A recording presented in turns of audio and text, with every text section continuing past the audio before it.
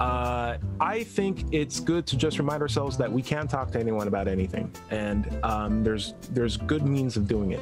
And a lot of people on this call themselves have tried to learn how to incorporate SE a bit into how they talk with people, and found some really good um, um, productivity from it.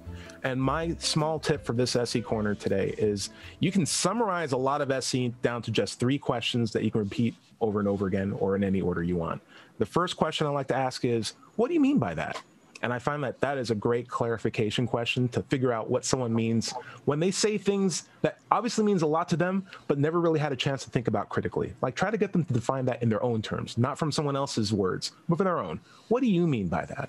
Second, how can I test that? Or how can we test that? Don't make it a group project.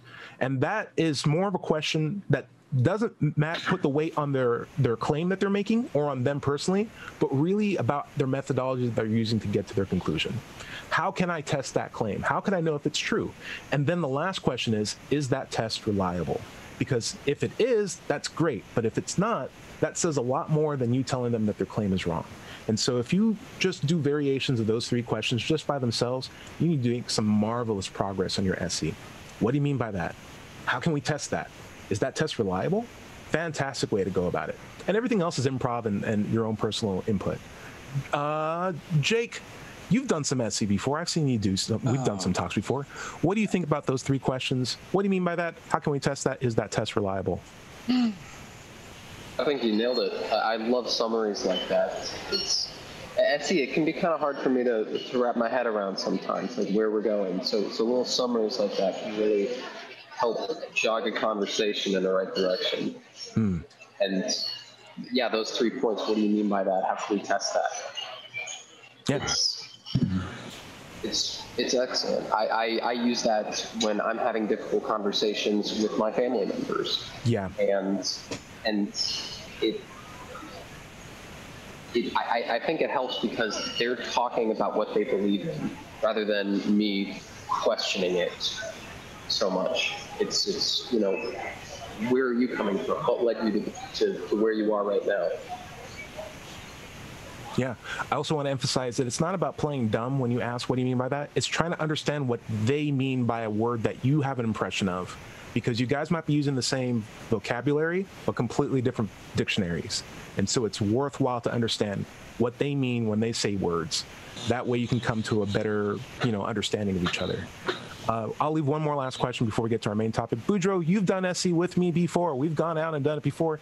You you have a really great friend who's busy flipping houses that I'm sure you have a lot of deep conversations with. Have you ever asked him, what do you mean by that? How can we test that? Is that a reliable test? You know, that's a that's an excellent point because uh, my buddy Chad and I have had a lot of conversations around this whole area of topics, and uh, we generally agree on most everything but uh, there are topics where we kind of bounce ideas off each other because I'm not certain. I believe uh, it's the same way he believes. You know, particularly he's a little more Buddhist in some of his thinkings. Uh, but I, have never thought of actually trying to use SE on it. But I think that would be really interesting and, and a good exercise. So I'm going to take these three, you know, canned questions and, and uh, give it a spin on our next talk. Ooh, maybe, I'm excited. Maybe record it. I don't know. Yeah, maybe, maybe record it. Anyway, uh, so thank you so much. Oh, Dell, feel free to weigh in. You're muted right now, sir.